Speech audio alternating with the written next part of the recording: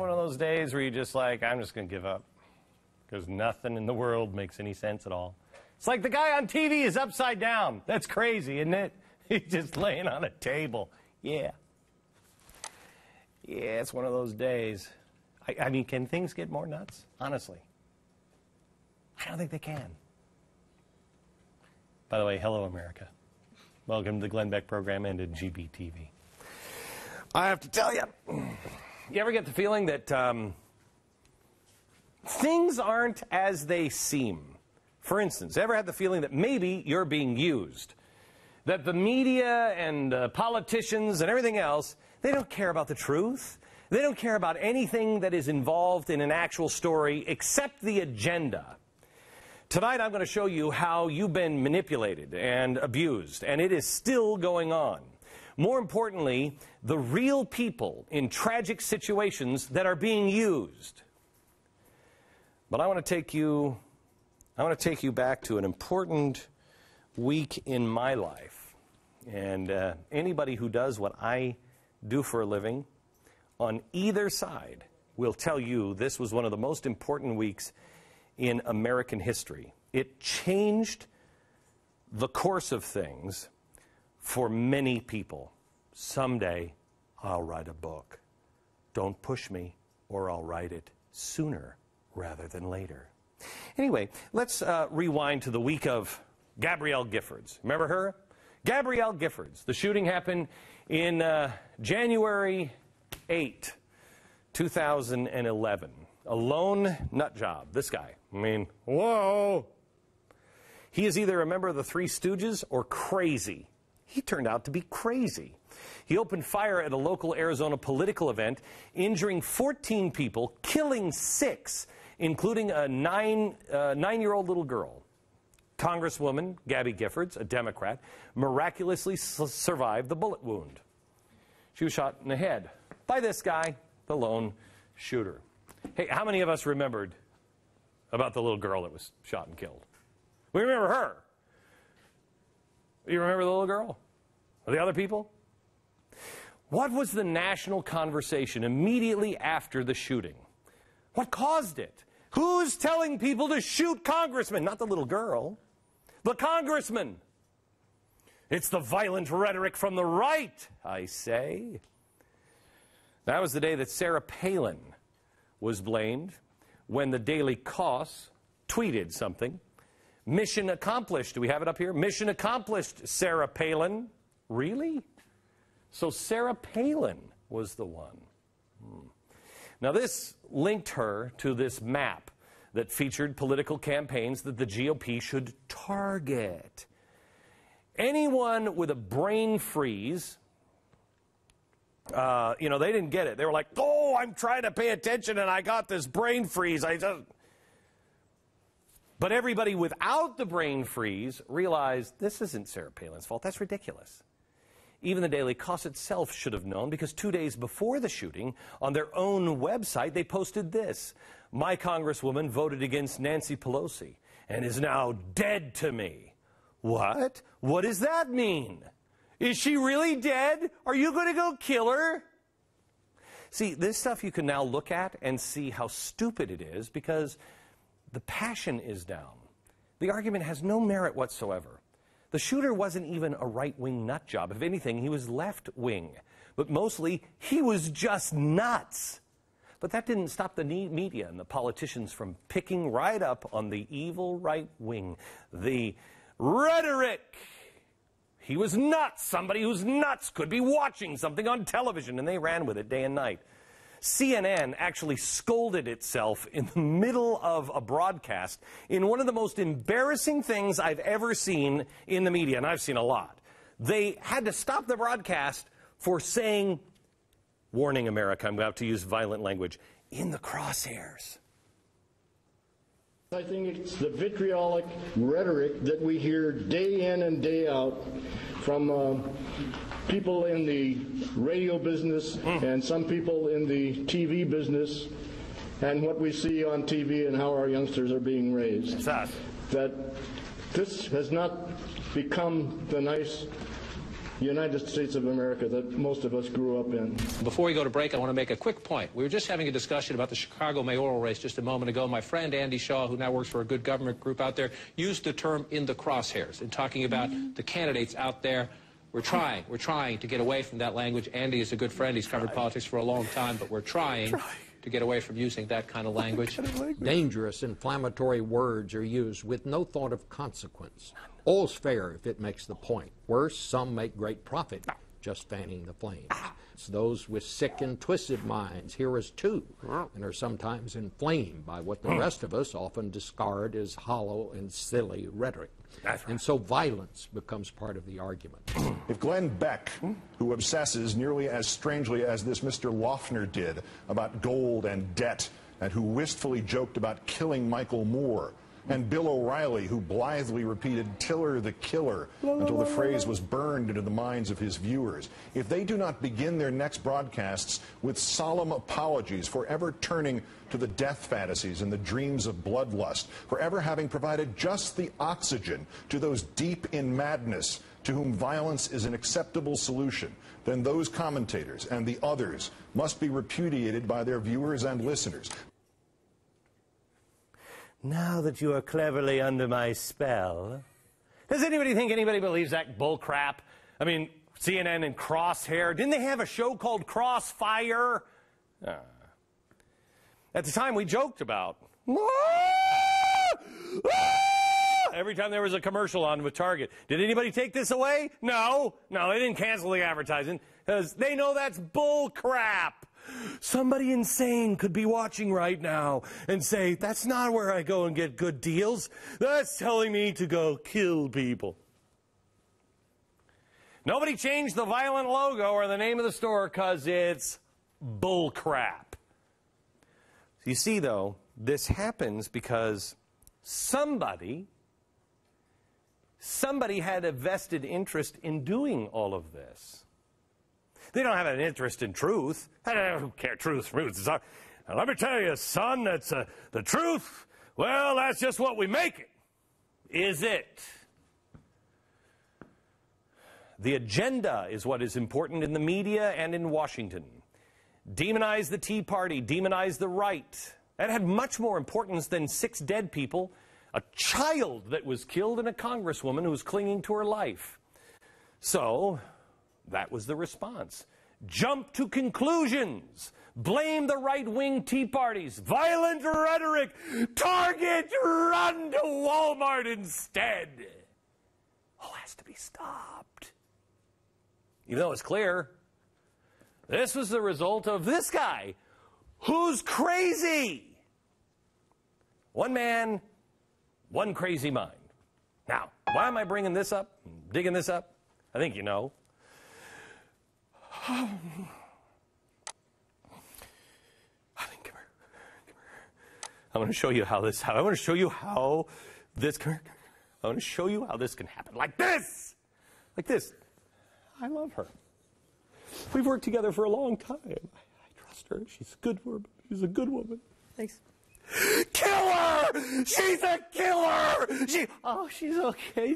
Kill her! Hello? Hello? Hello?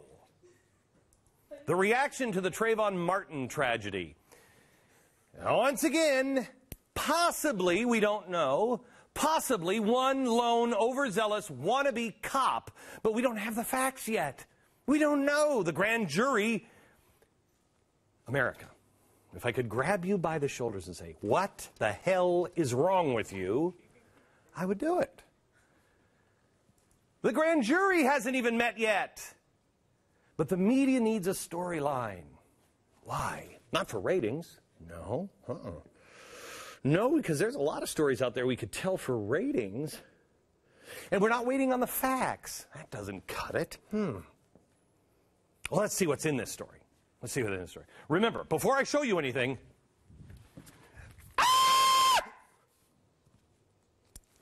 Nation of Islam leader Louis Farrakhan tweets about vigilante justice and says retaliation may soon be applied.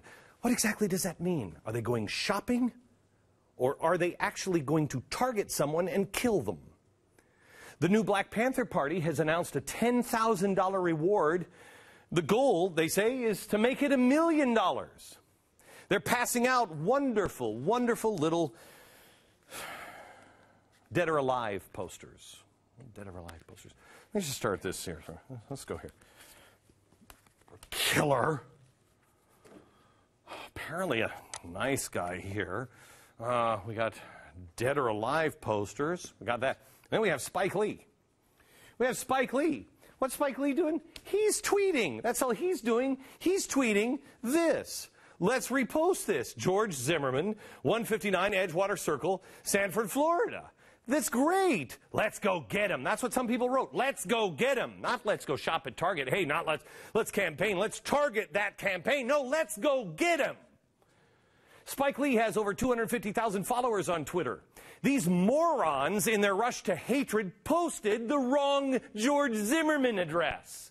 It's not even the same George Zimmerman. It's not even in a gated community. Let's go get him. The people in the home aren't even remotely related to George Zimmerman. Oh, George, I got a mouth in my pocket and I think I just grabbed my pants. Yeah. You think so, Spike? Bring it on, Mr. On the Bus! The home that is listed here belongs to an elderly 70 year old couple, you moron. Elaine McLean, who lives at the home, said she and her husband are, quote, now afraid for their lives. They're now forced to live out of a hotel. They're getting hate letters. One of them read, Taste the rainbow. Imagine sending that to your 70 year old grandmother. That's a slogan for Skittles. They, I have no idea they even know what that even means. As of earlier today, Spike Lee hadn't even bothered to remove the erroneous tweet. He hasn't bothered to apologize. Nothing. But he has been busy. I just show you here. He's been very busy. He was at the. Oh, look at he's hanging out with celebrities. He wasn't even wearing the hoodie. This is after he made the tweet and said, Hey, we got to be a part of this movement. We got to go out. Well, everybody else is standing outside in their hoodies. He's doing this, having a great time, not a care in the world. He's just turned a 70 year old couple's life into a living hell. Let me tell you something. I do this for a living. I know what it's like to be them. But they don't do this for a living. They're putting a bounty out on for this guy's head. And imagine if this guy, they tweeted your address and said he lives with you. Someone tell me why Spike Lee shouldn't be footing a hotel and security bill for this country, uh, for this couple. And tell me this. Tell me this. How are they ever going to live their lives again? How are they going to go back to their own home again? How are they going to sleep? How are they going to sell that house? Who's going to buy that house? Would you buy that with your kids? You going to buy that house? I'm a little passionate about this because I tried to sell my house in Connecticut for a long while. After this exact same thing happened to me, they tweeted the address of my house. They tried to frighten my wife and children and they put my house out all over the internet. Well, I have my house up for sale. Can I tell you how many people went through my house? A lot of people went through my house. Nobody wanted to buy my house because it was always the mom. In the end, it was always the mom who would look at her husband and say, I mean, does anybody know that he doesn't live here anymore? Are our kids going to be safe? I had one honest woman ask me, Are you going to make this into a big deal so people, people know that you don't live here anymore? Well, this couple can't make a big deal out of it. Spike Lee should be ashamed of himself. We should publicly shame him. He should be personally responsible for anything, anything that happens. He has the money. Do you think maybe he should buy them a new home, help them relocate? This is a disgrace, dare I say it, Mr. Spike, as if that is your real name. Do the right thing. And where's the media on Spike Lee? Nowhere, because it doesn't help their agenda. They're not going to call him out on it. They're not going to call him out on the violent rhetoric and do hours and hours and hours on him. Of course not. How about the violent rhetoric of the extreme left? They're not going to say anything. The hypocrisy, not a word. Leave it to Allen West. Leave it from somebody on the right to come out against the vigilante justice, and that's what it is, condemning the bounty the Black Panthers put out for Zimmerman. Has the president done this? The president hasn't done this. Then you have Media Matters, a vile organization Soros bought and paid for with his pieces of silver. Leftist hacks forced to apologize after calling Matt Drudge a racist. Boy, they don't have a problem throwing that around, do they? How dare, how dare you call anybody a racist? They do it all the time. Does it matter if they're right or wrong or if they're actually thinking things through? Of course not. Matt Drudge is a racist. For what? For posting, quote, a fake picture of Trayvon. Here's what the senior analyst at Media Matters tweeted. Racist demagogue Drudge continues to run photos of some kid, not Trayvon, for incitement purposes. Forget about Spike. Forget about the bounty on the head. Forget about Louis Farrakhan. It's the picture for Matt Drudge. But one problem the picture is Trayvon. Where do you, who do you call to get your reputation back? You see, you don't get your reputation back. It doesn't happen. You don't get it back. If you want to speak the truth in this country anymore, you don't get your reputation back. You just, you just understand that's the way it is. That's the way it is. Okay. By the way, I'd like Media Matters to explain to me what's so inciting about this picture. What is it? Oh my, oh my, oh, don't look here. Don't look here. Is it that? No, no. Their problem is, and I don't even think it is gold teeth. Is that gold teeth? Looks like a smiling kid to me, hamming it up for the camera. Gee, Media Matters, you almost sound racist. Here's the bigger point. Why is the media, what, what are we playing, what games are we playing here? Why, why are we seeing mostly pictures like this, or this one, this one? Why are we seeing the pictures when he was young? He's 12 in this picture. Is anybody showing pictures of me when I'm 12? Is anybody showing pictures of me when I look good? No. No. And isn't it racist to say,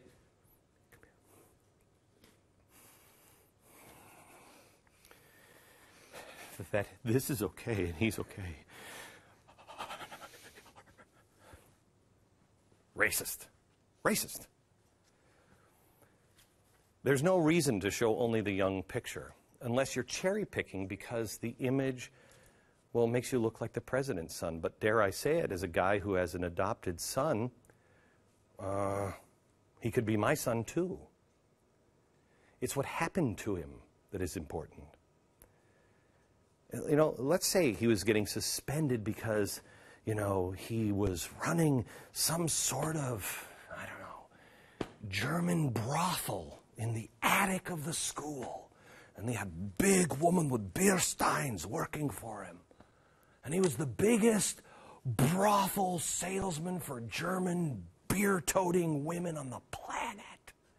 Did he deserve to be gunned down in the streets? No. What if, what if he's wearing every gang symbol he could possibly have? All of his, his every time he, his booze went, I'm a gang member. I'm a gang member. Do you shoot him in the street? No. Talk about racism. Look what they're doing. May I ask one more question? Why are they spending all the time on this story? Why is this one suddenly the one that has to be told?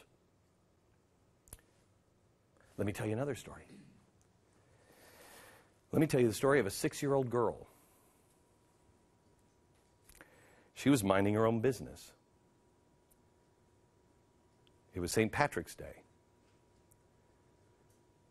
Somebody drives by and just fires an automatic weapon. In Chicago, she was sitting on the porch, dead. Why don't we cover that story? And if you don't like that one, I could, I could give you 49 other stories. Shot on the same weekend in Chicago, 49 shootings. 10 of the 49 died, including her. 10 out of 49 in one weekend in one city. Where's the media? Where's the media? Nowhere to be found. Reason? Political agenda. What's the political agenda? That's I can't use that. I can't use that.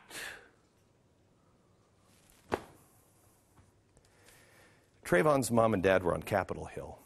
They gave testimony. For what? We don't even have any of the facts.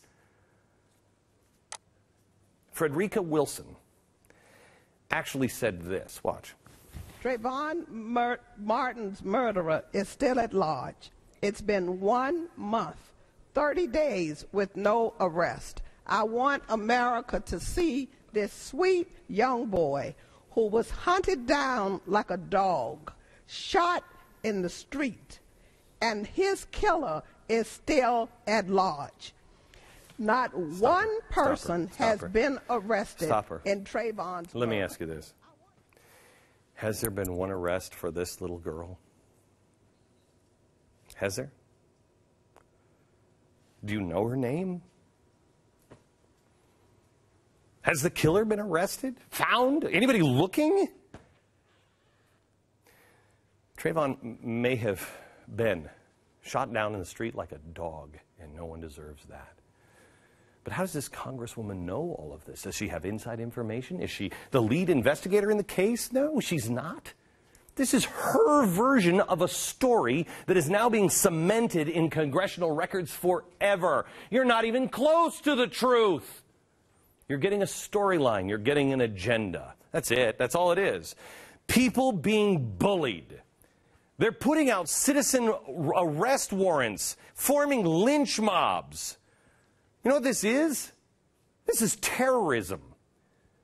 You don't think that's terrorism? Tell me about the 70 year old couple in Florida that is living in terror and fear now. These are mob tactics. They'll break your legs. They'll gun you down in the street if you don't do exactly what they say. And where'd you learn it? Why, Mr. Saul Alinsky, of course. Saul Alinsky, Rules for Radicals. I read a report today from John Fund. Great article from John Fund in the National Review about Saul Alinsky. Read it. This guy wrote Rules for Radicals, dedicated it to, right here in the very front, to the first radical known to man who rebelled, who rebelled against the establishment and did it so effectively that he at least won his own kingdom. His name, Lucifer. I don't know if I want to read a book that's dedicated and praising Lucifer. Hillary Clinton wrote her college thesis on the Alinsky model. Remember the one they would never release? Why? Why? Lucifer. Who's a big fan of this one? Barack Obama. In fact, not just a fan, he is a professor of this. Alinsky tactics. How do I know? Because that's what he's teaching on the chalkboard right there. Alinsky sought to achieve social justice through a new method. Quote, listening to this one, generating conflict to mobilize the dispossessed. Generating conflict to mobilize the dispossessed. Who are the dispossessed? The poor and downtrodden, the ones that nobody listens to, the ones that are gunned down in the streets because they're wearing a hoodie. Generating conflict. That's what's happening, America. This man believes the ends justify the means. The practical revolutionary will understand that in action one does not always enjoy the luxury of a decision that is consistent both with one's individual conscience and the good of mankind. Sounds an awful lot like what I saw on television today on South Miami Beach, where kids terrorized store owners because they were angry. They wanted to make a point. So they came in, they were standing with Trayvon. The ends justify the means, even though it's wrong. If it's good for mankind, do it anyway. He didn't care what method you would use as long as it worked. Alinsky never completed his doctoral dissertation, but his topic was Al Capone's mob. He actually met with and hung out with the mob's top executioner. I mean, the guy who goes bang he convinced this killer that he would portray mob tactics in a way the outside world would understand. Alinsky says, quote, he learned a hell of a lot about the uses and abuses of power from the mob. He said he applied that knowledge, quote, later when I was organizing. When asked if Alinsky had any hesitation hanging out with, I don't know, murderers, he said, quote, none at all. Since there was nothing I could do to stop them from murdering, I was a non participating observer in their professional activities. Though I did join their social life of food, drink, and women, boy, I participated in that side of things, and it was heaven. Lucifer. Alinsky's tactics, as a result, relied heavily on, imita- on intimidation. And that is what we're seeing today. You pick a target, you freeze it, you personalize it, and you polarize it. You rip it apart. One acts decisively only in the conviction that all the angels are on one side and all the devils are on the other. Gee, that sounds an awful lot like Louis Farrakhan, doesn't it? Sounds an awful lot like the Black Panthers. The Obama administration doubles down. They demonize rather than back down and apologize. They allow the chaos. They encourage it. They enforce the negative stereotypes. Do I need to show you the hoodie again? They've done it every time. They did it with Fox News. They did it with health care. They did it with the Tea Parties. They did it with me. They did it with Sarah Palin. They did it with Gabrielle Giffords. They did it with Sandra Fluke. They did it with the Supreme Court at the State of the Union. They're doing it to Catholics now. They're doing it to bankers. They're doing it to rich people. They do it to something I've never even heard of before white Hispanics. I don't even know what the hell a white Hispanic is. Definition the Alinsky way. It's why we don't talk about the six year old girl who was shot because that doesn't move you forward to your goal. You need to find the enemy. You need to isolate. Find the enemies in the Trayvon story. Who are they? Whites, gun owners, anyone supporting the right to stand law, anyone standing in the way of justice being done, white Hispanics. And the media is compliant. The media has sold you down the river with Al Capone mob style tactics, and they are no better. How's that for rhetoric media? Glenn Beck.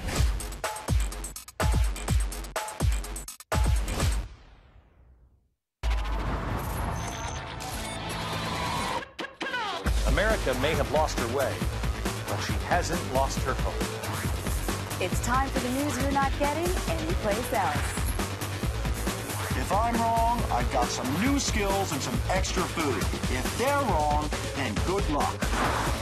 GBTV is the only network that would put me on it. Here you go.